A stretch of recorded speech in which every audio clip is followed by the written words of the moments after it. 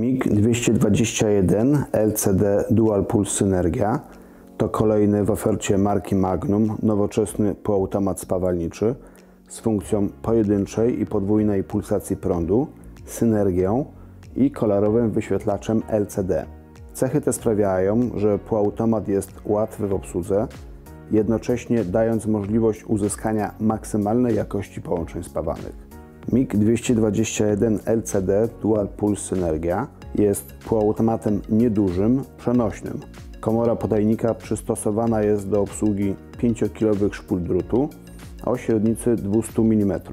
Za podawanie drutu odpowiada wytrzymały, pełni metalowy, dwurolkowy podajnik drutu. Sterowanie urządzeniem jest łatwe.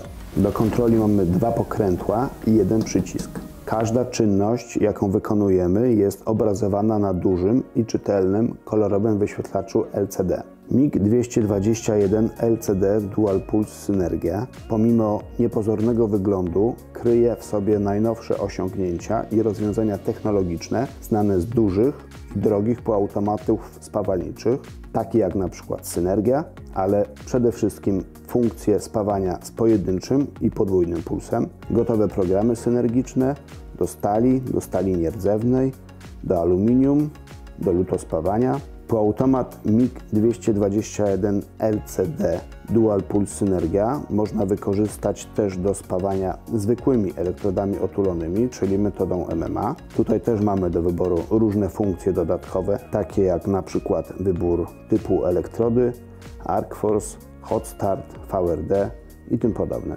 Można też spawać metodą TIG Lift z pulsacją lub bez pulsacji prądu spawania. Wracając do metody MIG-MAG, pokrótce pokażę możliwości ustawień.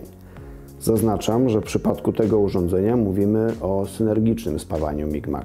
To, co można ustawić bezpośrednio, bez wchodzenia do menu, to wartość prądu spawania, a wraz z nią zmienia się graficznie i liczbowo orientacyjna grubość spawanego materiału, prędkość podawania drutu i napięcie.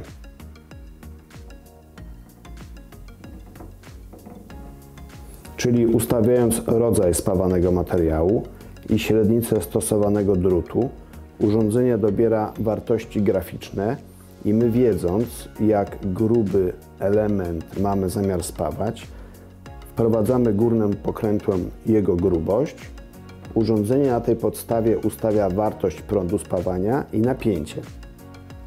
Należy wówczas dokonać próbnego spawania i w razie potrzeby skorygować wartość prądu spawania, a dolnym pokrętłem skorygować napięcie oraz po naciśnięciu przycisku menu i podświetleniu na czerwono symbolu indukcyjności skorygować również ten parametr.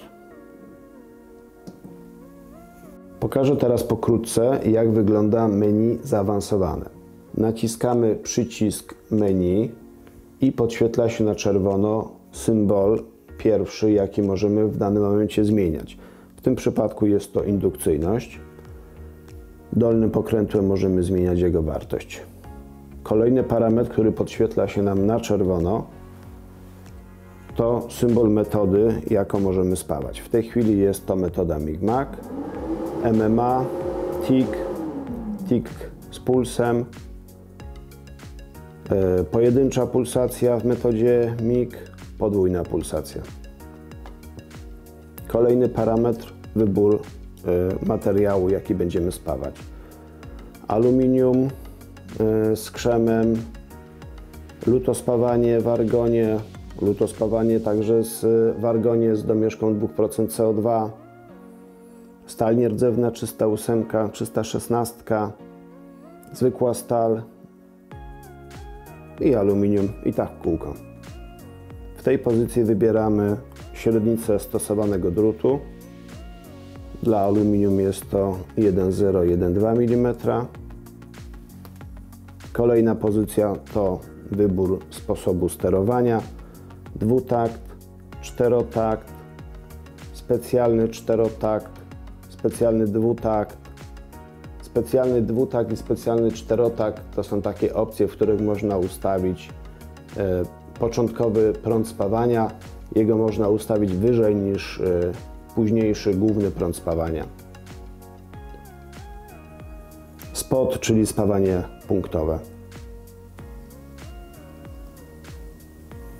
E, Kolejne okienko, które nam się podświetliło, to czas upalania drutu, e, inaczej e, burn back.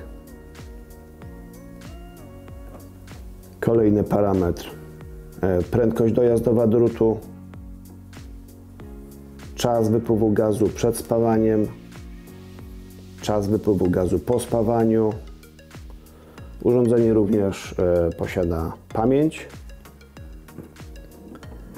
W tym przypadku do dyspozycji mamy 36 kanałów pamięci. Na tych kanałach możemy zapisywać dowolne ustawienia. W tej pozycji przywołujemy zapamiętane ustawienia. Urządzenie cały czas podpowiada nam, co regulujemy i jaki parametr, ponieważ na samym dole ekranu wyświetlają się podpowiedzi w języku polskim. Gdybyśmy wybrali spawanie na przykład z podwójną pulsacją prądu, dojdą nam kolejne parametry związane bezpośrednio z podwójnym pulsem, czyli częstotliwość pulsacji, balans pulsacji, ustawienie wartości szczytowej, ustawienie prądu bazowego, a także korekty napięć prądu szczytowego i bazowego.